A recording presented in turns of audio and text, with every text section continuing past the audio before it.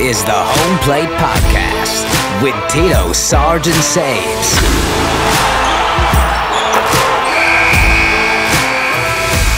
Serving up a triple play of sports, betting, and exclusive interviews with some of the biggest names in the game. Brought to you by Fog Coast Productions. Hey, all right. Welcome back to another episode of the Home Plate Podcast brought to you by Fog Coast Productions. I am your host, Tito Von Flavor, once again joined by my co hosts, Sabes and Sarge. And we are looking forward to breaking down a four quarter segment episode today all about March Madness. Really looking forward to what we have ahead today, fellas. March Madness is back. We took a break last year just in this quick little intro, I mean, first thing when you think of March Madness Sabes, what comes straight to mind? March Madness, best month of the year. It's my birthday month. Best time of the year. That's all it is. It's it's basketball time, tournament time, baby. Sarge, are you fired up? Is the locksmith fired up to make a couple picks, win some money this March? Upset alert. Let's effing go, guys. Well, it's it's exciting because I mean it's it's it's a bunch of teams, right? You know, it's it's now 68 teams, which then comes down to 64 after the play-in games. It's school pride. It's one shining moment at the end of the year. It's the fun names for each round: the Sweet 16, Elite Eight, Final Four. And you know what, guys? I mean, first quarter of this show, first quarter segment. Let's get into mascot versus mascot. Not a lot of people focus on this enough, and let me paint the picture for you guys, okay? Wherever you are, you're walking, you, you know, you've had a fun night with a buddy. Maybe it's a fellow mascot. I was a mascot at Serra High School, so I, I know what it's like to have to defend myself after a fun, fun night out. Maybe you're leaving a sporting event. You're walking down a dark alley to your car. You come across, you know, some nefarious characters. Let's say it's a blue devil, okay? A blue devil standing across from you in a dark alley. Sabes, who's the one mascot that you want standing next to you that you think could go toe for toe with another mascot and say a, a, a 12, 12 round bout? Oof. There's a lot of really good ones out there as far as mascots that could wreck shop, but I'm going with the Baylor Bear because who in their right mind would want to fight a bear? They do not fight, they kill, they murder. Just ask Jackie Moon. Didn't work out for him nicely in semi pro. You know, everybody panic. You're not getting a refund. Spumoni. I'm going with the bear. A, a, bear it would absolutely rip your face off in a fight. So it, it, it's done deal. Baylor Bear.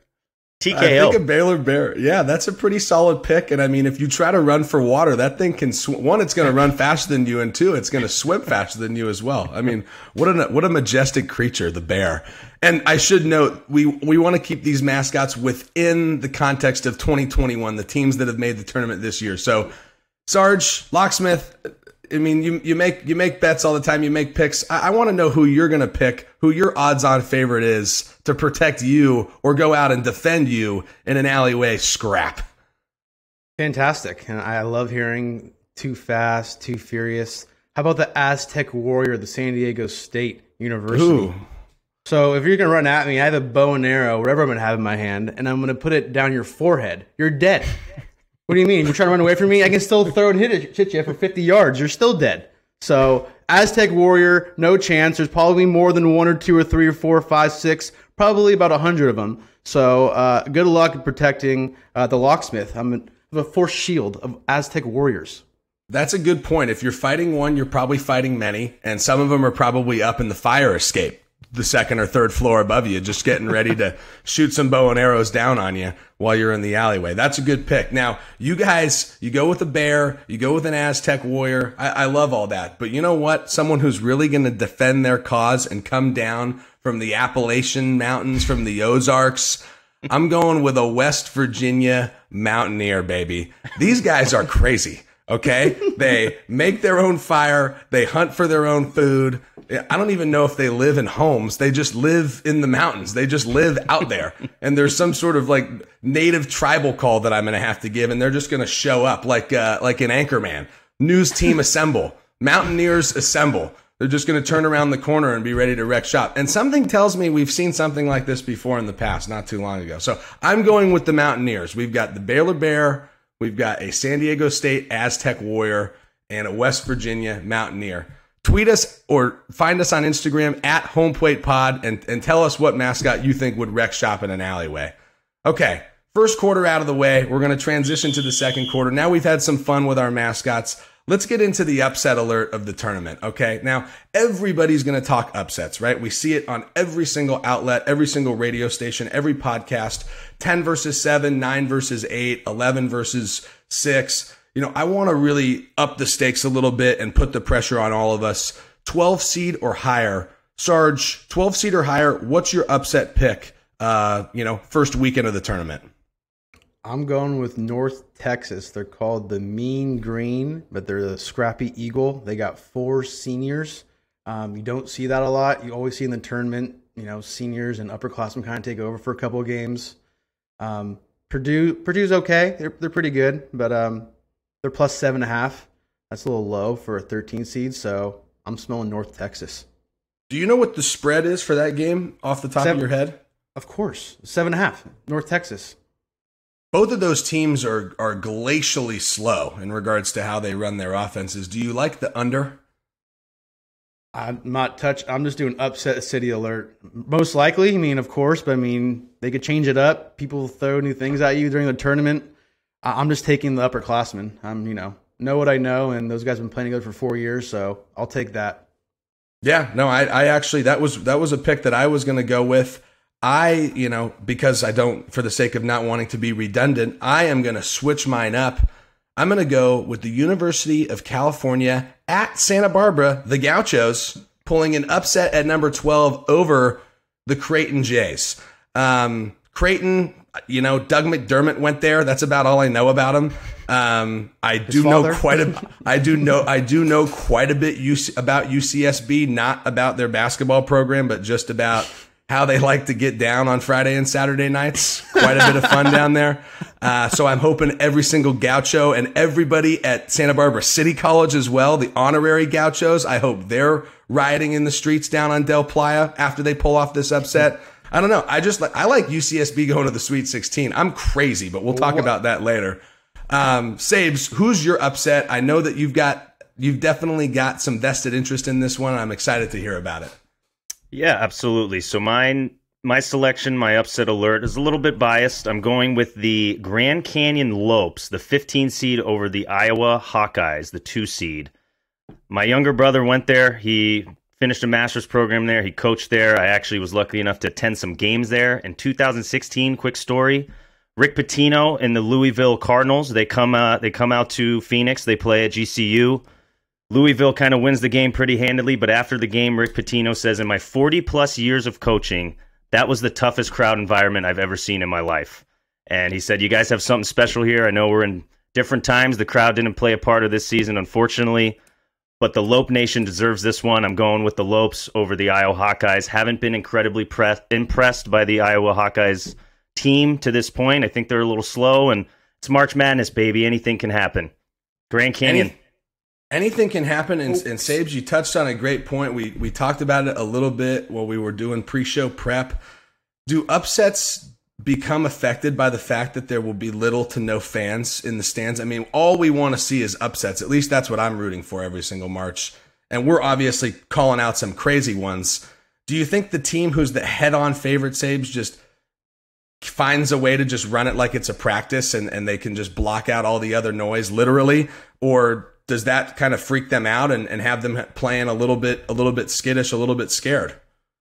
I, I guess we'll see, right? It's going to be one of one of the other. It's either going that like it's going to be a scrimmage for these these more talented teams, or they're going to play down to the level of the lower seeded competition because there are no fans. There is no extra juice in the building to get you amped up and going. I'm interested to see it. We'll talk about our final four predictions later, but I do predict some uh, upsets happening early on in the tournament. We'll see how it matures later on, but it will be interesting to see March Madness with no fans. It's a little bittersweet, isn't it, boys? Well, it's it's better than nothing, right, Sarge? I mean, it's not having March Madness last year was. Uh, I, I hit a state of of de- depression that I didn't know existed. Not having any sports on at all, no college basketball, no screaming at the TV at just a bunch of 18 and 19 year old kids as to why they can't cover the spread. I missed that. I can't wait to have that back.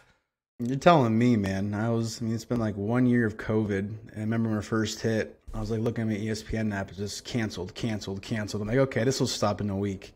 And here we are, a year later. Um, happy March Madness is back, to say the least. I can't wait to touch every single game and yell all day.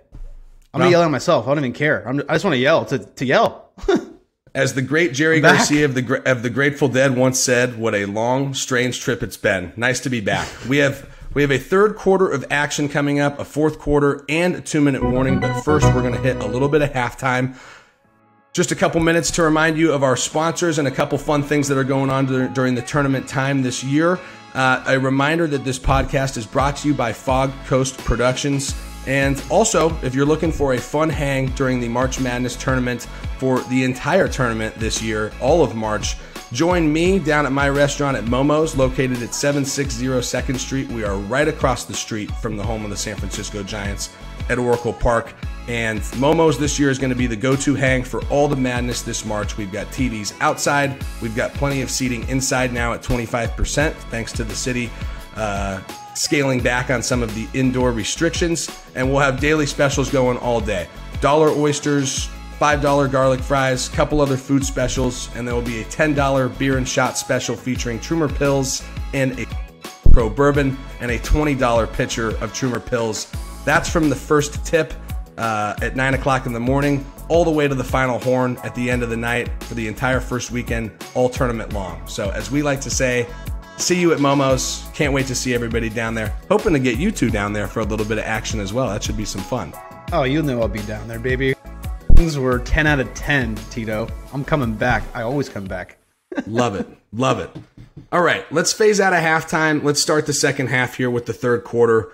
A really fun topic that I'm looking forward to talking about because, I mean, as we've already sort of touched on, March Madness is just such a special time where individual players and, and collective teams, you know, go down in the history books for just a great, you know, run of three, four, five games in a row. It's it's incredible what can happen over the course of March into early April. So let's break down our favorite or most memorable tournament team uh, of, of our lifetimes. We can obviously date back to, to what before we were born, but I think we have some special ones from from you know our youths and our formative years. Sarge, I'll start with you. Favorite, most memorable team. Let's hear it. I was gonna say right away. It was at Serra High School with Bob Christensen's class, of course, uh, in our computer class at Serra. Um, I fell in love with the 2004 2005 UNC team, and that's when I first became a fan of college basketball. Sean May, big fat guy, just doing work, loved it. But um, Looked like he was forty. he looked like he was 45, already balding. But 2008, 2009, without a doubt, uh, Ellington, Lawson, Danny Green, Hansbrough, Larry Drew, Tyler Zeller, eight NBA players. Everyone hated Hansbrough, but he was the type of player where I loved him. Um, so 2008, 2009, UNC Tar Heels. What a great shout out to Bob Christensen, by the way, former assistant basketball coach at Serra High School. I believe coached computer anal or taught computer analytics and statistics at Serra. Uh, I know that there at one point was a Serra High School football draft amongst some of the current staff. I'm not sure if that still happens, but my dad, Oh. who was on the coaching staff for a few years, was was invited to one of those drafts and and played alongside Mark Massey, another coach in the basketball program. And I tagged along with them and helped them with a few picks. And I can't remember who I drafted one year. I think I drafted Joe Horn the year after he. I told my dad to draft Joe Horn the year after he used the the cell phone in the end zone. And Bob Christensen looks over at me and he goes, "I'd never draft Joe Horn." And I said, "Well, why? Why is that, Coach?" He goes, "Guy doesn't have any character. My fantasy teams are all about character." and that, I, that just left a profound mark on me. It's just wow, you're you're gonna go four and twelve in fantasy this year if you're basing it off of character, my man. Um, T- T- I, T- I. I got I got to pop this in. You- This is the funniest thing ever. We even talk about this. My first this is hilarious. My first ever fantasy team was because of him. In our class, he made us do a 16 team league, two people per team fantasy draft for a class. Like that's Serra High School for you. I learned how to fantasy. Now look at me. I have eight fantasy leagues per league, and I'm full blown. So thank you, Bob. Statistics, my man. Statistics. Shout out Bob Christensen. Um, Sabes, as we let, let's reel reel us back in, please. Sabes, favorite, most memorable tournament team for uh, for you. Absolutely. So I'm going with another family connection. And I'm sure people are going to get sick and tired talking about my family, but you know what? This is my podcast with my friends, and these are my takes. Deal with it. I'm going with the 2001 Gonzaga Bulldogs. In honor of their 22nd straight tournament this year, the Gonzaga Bulldogs really came to fruition, came to the the national spotlight probably in 1999, 2000, 2001 when Mark Few took over the reins. That year in 2001, they advanced to the Sweet 16. They beat Virginia and Indiana State. They ultimately lost to Michigan State, who was the one seed and defending national champion the year prior. But that team, to me, kind of made you believe that these underdogs could, could do something in March Madness. They're that Cinderella story. Dan Dickau and Blake Stepp were the one-two combo combo guard punch wow. for that team, and it brought awareness to me who Gonzaga was, who the hell they were, where they were from and on top of that, my younger brother fell in love with them too, ended up going there and managing the basketball team. So I'm going with that 2001 Gonzaga Bulldog team. Hopefully, they can uh, show us some magic here in this tournament. That is really when it started for Gonzaga, and what a run they have been on. As a as a proud Santa Clara Bronco, um, I'm like the little brother to the Gonzaga Bulldogs. You know, gr- growing up, you know, Gonzaga just gave me a bunch of wedgies and uh, wouldn't wouldn't wouldn't look after me and blame me for any sort of spilled milk in the house. But as I've gotten older, I've really grown to respect them, and uh, they taught me a lot growing up. And and while I wish Santa Clara could topple them, you know, routinely every single year, you just you can't you can't at all disagree with the fact that Mark Few has just built an outstanding program, and they're they're a perennial contender every single year for a reason. Um, my pick for most memorable uh, is is also you know over the course of history has been a perennial contender. This particular season, they were not having the best year. They were just on the fringe of the top 25 all season long. I'm going with the 2010 2011 Kemba Walker led University of Connecticut Huskies. Uh, what that guy did, not only in the NCAA tournament, but going back to the Big East tournament, they entered that tournament nationally ranked at 21. So it was a debate as if if they were going to get an at large bid had they lost in the Big Big East tournament. What did they do? Just rattled off as many wins as possible and beat Pittsburgh on a buzzer beater to win that tournament, go into March Madness as a nine seed, and I'm a just unbelievable run taking down Butler in the national championship, who I think was just coming off of losing to Duke the year prior, and, and, I think everyone had them slated to win the national championship that year. Brad Stevens coaching them before he moved on to the Celtics. But boy, Kemba Walker will live in history, and, and that's what I'm talking about the one shining moment. NCAA March Madness, anything can happen. That UConn team will be remembered forever as an all-time great watch for fans. What a what an amazing time. And fun to look back on Gonzaga, North Carolina countless other teams. As I said, follow us on all social media platforms at Home Plate Pod. Tell us some of your favorite March Madness stories, teams you love to watch, teams you love to hate, everything in between. Okay, ending the third quarter, moving to the fourth quarter. You know, this is what everybody wants, right? They want our picks. They want to tell us that we were wrong. They want to give us the celebration and the adulation if we are right. Let's do some Final Four and championship picks. Sarge, let's just start off with who's in your final four. I'm going with West Virginia as my little sneaky defensive uh, slate, if you will. West Virginia, Baylor, Gonzaga, Michigan. I know it's three one seeds. College basketball wasn't as strong. I know I was gonna say take underdogs, but Gonzaga is the best team. Um, I have Gonzaga versus Baylor, and I'm taking Gonzaga all the way, baby. All right, all right. Gonzaga Bulldogs. They they will be going to Titletown. They will be the one shining moment team that's left. Sabes, who do you got? Similarly, I don't have the probably sexiest uh, Final Four as far as different seedings, but I, have seen these particular teams play a lot this year, so I got to roll with them. I'm going with Gonzaga versus Alabama, and then I'm going Baylor versus Illinois. In the final, I got the Zags versus the Fighting Illini, but I'm going with the Fighting Illini to win it all this year. Reason being, Gonzaga's downfall in, in recent tournaments past or losing in the tournament has been bigger more athletic teams. That is definitely what Illinois is. They got a young man named Kofi Cockburn. He's seven feet tall, 285. He averages 17 and 9. He's a strong man with an even stronger name. We'll see. Yeah, I, I, think I think Illinois will, will, will win it this year. But if the Gonzaga Bulldogs win it, I'll be a happy man too. So those are my picks for Final Four in the championship. Sean, we gotta we got we gotta bet the West Virginia Illinois game. Then what it looks like. If you're looking down the Midwest bracket, the bottom right, it's Here we go. Defense, defense, defense. I think we're gonna go to Momo's Illinois versus West Virginia. That's the game. I'd, I'd love it. I saw that Zags beat West Virginia this year, so they're beatable. But i I'm down for that. Momo's. I'm fired up. I'm fired up right now. my final four, I, I, will agree. It is not sexy. I will actually go as far to say that my final four is downright ugly. And you know what? I like it. I like it that way. Scrappy, ugly, crawl into the mud and just fight it out. I've got the number three Kansas Jayhawks squaring off against the number two Alabama Crimson Tide. Yes, I know this is not uh, the football playoff. I know this is the final four. And then I've got number two, Ohio State University going against the number two Houston Cougars. Okay, that's my final four. So no one seed, three twos, and one three in the Kansas Jayhawks. We'll see how that fares for me. I have the Crimson Tide squaring off against the Houston Cougars in the national championship game. And just because I love Houston's head coach, Kelvin Sampson, and think he's due for some national recognition and a title, I'm taking Houston to win 82 74. Houston scores a ton of points. I took Cincinnati in the AAC championship game plus 13 and a half and regretted it after the first two minutes of the basketball game.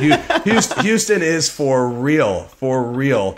They're going to score a ton of points all tournament long. They are going to be slamming dunks, knocking down threes. I think they play some pretty stout defense too. So we'll see what happens. I mean, this is the best part of the tournament, right? I mean, Sarge, how many how many Final Four teams realistically do you think you're going to have left by the time this thing's all said and done? One is probably gonna be West Virginia. you know, right? I mean, I mean, I, truth, I just, be, truth be told, Sabes Gonzaga probably gets there. You know, that's probably your one luck. They find a way to just win when it matters, up until the point when they, uh, like you say, come across a team that's just that's just super hungry, like Illinois. Mm-hmm. I think they have the easiest path to Gonzaga. It seems like mm-hmm. their region is not the most competitive. We'll see. You you can't can't get ahead of yourself in March Madness, obviously, but I think they do have the best opportunity to reach the Final Four based off of their seeding in their region. Ah, I have a quick be, one for you, Tito. Yeah, yeah, yeah. I was just looking, just looking back on this the bracket for the one seed. Michigan's going to be the first one seed to fall off. Uh, that's another thing we should have talked about. But anyways, I think I see Colorado might have a little upset city alert against Michigan. So that's my call for the, the one seed going down first. Yeah, you know the tough part about the Big Ten, and we were talking about this before the show. You know they were they played super tough, and it was a it was a great conference all season long. But I just don't really know. Does that mean that they like how it happens in football? Are they cannibalizing each other? Are they all too tired? You know, by the time they get to tournament time, like for me personally, I've got St. Bonaventure beating Michigan nine versus one. Um, and I know that might be a little bit of a stretch, but I, I certainly think that it's possible. Um, any, anything's possible at that point in the season. So, you know, we'll see. I, would certainly love to see Michigan and Juwan Howard, and you know, they're a one seed for the first time since he was a member of the Fab Five, you know, back in the mid '90s. So that's that's a cool story. But there's something about watching one seeds go down that just uh, give me that special feeling inside. I don't know. It just gets me gets me all happy. It makes me want to do a happy dance. It's exciting. Um, so we'll see. You know, March Madness is what it is. It's complete and total madness. Um, so that wraps up our four quarter segment. We are now going to move to our favorite part, the most exclusive content that we have, the two minute warning. Uh, Locksmith Sarge this week uh, you are battling against one of our one of our followers, also one of our friends. So it's it's a it's a fun little rivalry we have going on. Our good friend Clay Mallory, who you guys can follow on Instagram at c underscore Mallory twenty four. Um, Craig, tell us a little bit about how the early goings have gone and what you guys are playing for. We're playing for a large two topping pizza. It's one mm. bet one bet per day uh, of fake money of value of hundred dollars. So however you want to play it, any prop bet. Um, took the Warriors versus the Lakers. The Lakers won by fifty, so not a good start from the locksmith. I was, I was being Homer Simpson, one of the one of the good guys, one of the podcasts. Go Warriors, go! And I got you know threw a brick in my face by LeBron triple double. So um, not doing that again. So I'm gonna play with my head, not with my heart. And I'm looking forward to being Clay and never losing a week of the locksmith, Peter. well, and you know, just so we all know, the locksmith's not the only one who started off 0 and 1. Um, our good friend Clay, sorry, bud, got to put you on blast. Took the under in Bucks Wizards 235 and a half. I think they scored 235 points midway through the second quarter. Um, that one was that one was over before it started. So both of you guys need to get on the right side of your bets. Looking forward to seeing what's coming, and and this is what you can expect, you guys, from Beat the Locksmith. Okay, this is the two minute two minute warning. They're playing with monopoly money, they're, but they're playing for pride, and they're playing for delicious pizza. Two toppings. I'm jealous. I wish I jumped in on this first one. A two topping pizza. I think you call that a supreme, where most people come from. Oh man, where would you go? What was your okay? How about those guys? What pizza place in the Bay Area would you hit right now if you won this locksmith challenge? I'm going to Toto's. I'm I'm a Toto's guy. Okay, Sorry. this is this, this is a big debate in the Morton household. Uh, Uh-oh. I, I mean, I mean a, a real big debate. Um, so my wife loves Round Table. Okay, that's not necessarily like a San Francisco spot, but loves just the classicness of Round Table. Likewise. Um, we also we also do Senores. But Yes. if I if I really have to if I really have to pick if I'm looking for delicious pizza, I mean I can't go wrong with Tony's Pizza in North Beach. Pretty That's pretty one. tasty. Yeah, Pretty tasty. dude. you know your stuff. Good call. Sabes, are you uh are you are you a are you a pizza guy? I love pizza. I love it. If I'm if I'm here on the peninsula, I'm with Craig. It's either Toto's or Round Table. It's kind of what we're beholden here to in the peninsula here in Belmont. But if I'm up in the city, it, it's definitely I'm hitting up North Beach. I'm going the Italian district. I'm either doing Tony's or Golden Boy. Oh Those are my two go to. I would wait. I would wait in a hundred person line at Golden Boy right now if it meant I could get a slice and just uh, be having some fun with my friends. Um, all right, guys, this is this has just been all too much fun. March Madness, you know, sticking with the theme of Mad. The episode certainly went a couple different avenues, which was super fun. Next week, we are going to take it to a completely different place. We've done baseball. Now we're doing college basketball. Next week, we're doing NFL free agency. We're going to do the draft. We're going to do the combine.